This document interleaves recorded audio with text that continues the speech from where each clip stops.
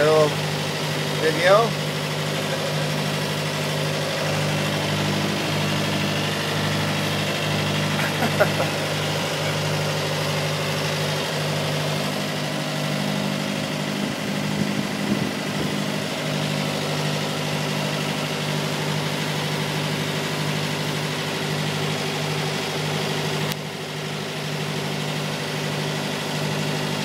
this is the Calusa Caloosahatchee River.